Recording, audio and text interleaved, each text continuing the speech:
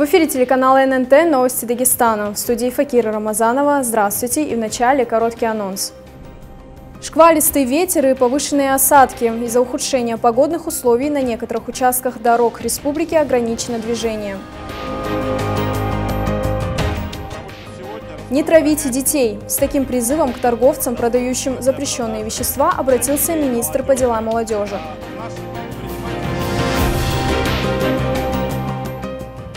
Протянем руку помощи. Служба новостей ННТ начинает постоянную рубрику о нуждающихся в помощи больных детях. Сюжет о девятилетней Камиле смотрите в выпуске. Еще один чемпион России. Борец-классик Динислам Баматов выиграл золото в весе до 60 килограмм. Об итогах соревнований, прошедших в Башкирии, расскажем в спортивном блоке.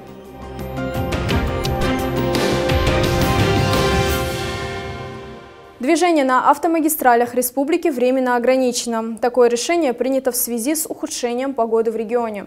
Шквалистый ветер и повышенные осадки создают аварийно опасную ситуацию на дорогах. Ограничено движение тяжеловесного, крупногабаритного и грузового транспорта, а также машин, передвигающихся на летней резине по участку федеральной автомобильной дороги «Кавказ» от торгового дома Киргу до поворота в поселке Талги. Объезд организован через территорию Махачкалы, об этом сообщает ГИБДД республики. Нет наркотикам и другим запрещенным веществам.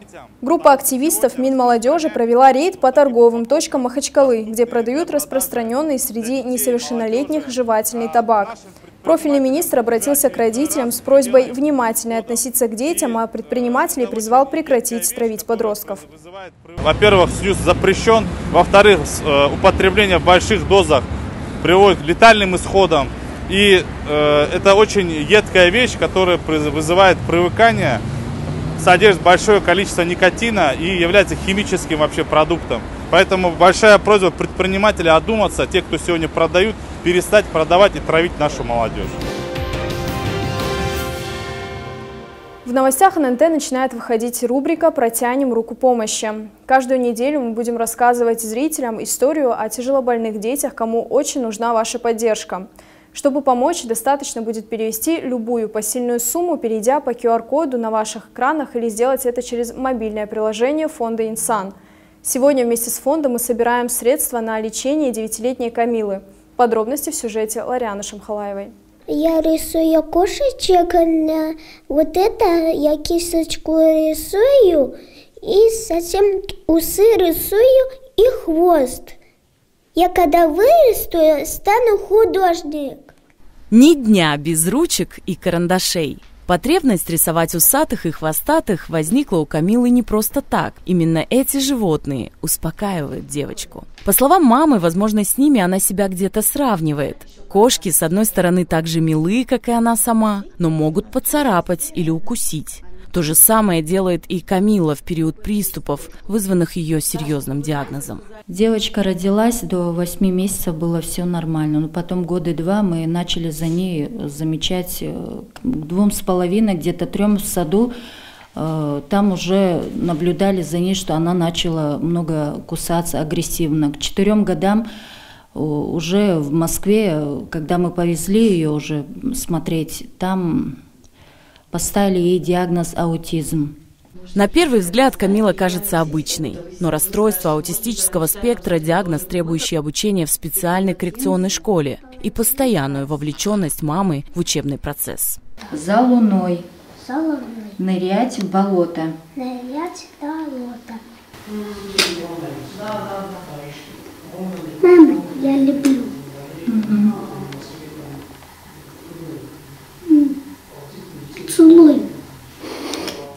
Альбина вынуждена находиться постоянно рядом с дочерью и не может выйти на работу. Однако, по ее словам, врачи дают неплохие прогнозы. Только вот сначала необходимо поехать на обследование в московскую спецклинику. Но стоимость услуг в клинике составляет 302 900 рублей. Сумма для неработающей женщины неподъемная. Я мама-одиночка, воспитывая одного ребенка.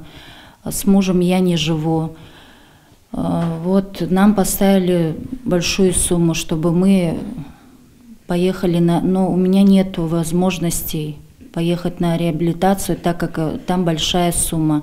Иногда Альбине помогает присмотреть за Камилой тетя Марисат Гарунова. Признается, что души не чает в девочке. Но ей, как женщине в годах, уже сложно справляться с неожиданными приступами малышки. Иногда на то, чтобы успокоить Камилу, уходит более получаса. Милая девочка, очень э, гуманная девочка, любит животных. Но иногда бывает, что у нее сразу вырабатывается такой характер, что она становится вспыльчивой, агрессивной. Этот момент. Поэтому этот момент должен быстро взять ее в руки и успокаивать. И надо сразу психически к ней, психически подойти и успокаивать ее, как педагог, как тетя, как э, соседка. Вот так я к ней обращаюсь, ее начинаю ласкать. У меня на глазах наворачиваются слезы, когда я вижу ее в таком положении. Дорогие мои зрители, я к вам обращаюсь. Это девочка, которая любит свою маму, которая любит нас, которая любит всех окружающих. Я хочу, чтобы она среди нас выросла здоровой, э, любви к животным, любви к людям. Но это у нее не получается, если ее не вылечить. Я к вам очень обращаюсь, мои родные. Помочь Камиле может и каждый из нас. Ведь у нее есть все шансы стать такой же, как и ее ровесницы. Для этого достаточно перевести любую желаемую сумму, перейдя по QR-коду, который вы видите на своем экране. Протянем руку помощи, не будем равнодушны. Лариана Шамхалаева, Нурмагомед Магомедов, Новости ННТ, Махачкала.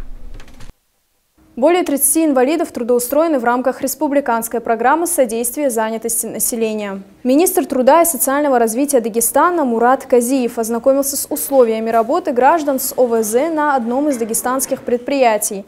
Тейса Казимова из Каспийска и Зарема Джидалаева из поселка Хушет почти два года искали подходящую работу среди имеющихся вакансий. Специалисты Центра занятости помогли им трудоустроиться в швейную мастерскую. Вам работа нравится? Не тяжело работать? Нет, нормально.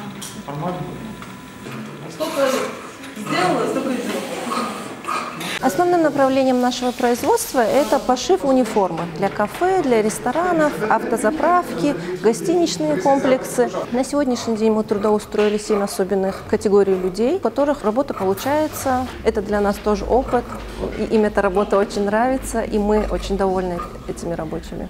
Мурат Казиев, в свою очередь, напомнил, что работодателям, принимающих на работу граждан, имеющих инвалидность, Минтруд помогает финансово. В Республике Дагестан осуществляется программа содействия занятости населения, в которой выделяются деньги, более 76 тысяч рублей на оборудование специальных рабочих мест для инвалидов. Для того, чтобы реализовать эту программу, у нас выделены деньги и в 2022 году, и в 2023. Я думаю, что это очень хорошая программа, очень нужная, полезная. Э, наша задача привлекать э, людей с ограниченными возможностями к участию в этой программе, работать с работодателями. Этим занимается Центр занятости населения городов и районов Республики Дагестан. 500 детей на утренней молитве, викторины с подарками и вкусные угощения. Все это для молодых ребят организовали в центральной мечети Кизелюрта. Ребята были так впечатлены красотой утреннего ритуала, что не собираются оставлять эту практику. А все началось с публикации фотографий в соцсетях, где коллективную молитву посетило всего несколько десятков детишек. Добрую акцию подхватили дети в разных населенных пунктах. Мне понравилось сюда ходить, на утренний намаз продолжать буду ходить сюда. Призы тоже хорошие. Мне понравился конкурс ощущений. Ну, я рад. Получил грамоту и часы. Все хорошо, все понравилось, машалла. Такой большой праздник сделали для этого. 40 дней ходили все, иншалла, все будет продолжаться. Все четко, все на уровне. Спасибо за конкурс.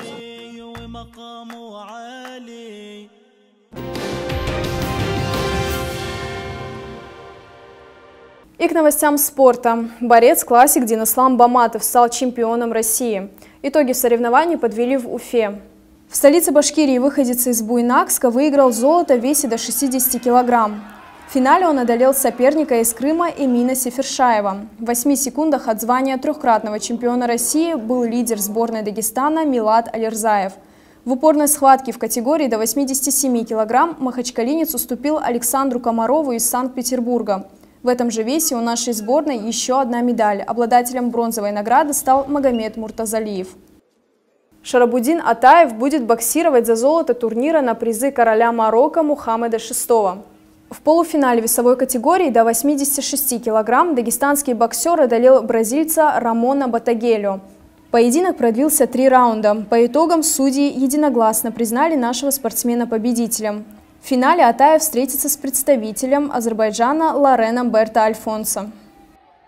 На этом я с вами прощаюсь. Смотрите выпуски новостей также на нашей странице ВКонтакте и на Яндекс.Дзен. Добрых вам новостей и до скорой встречи!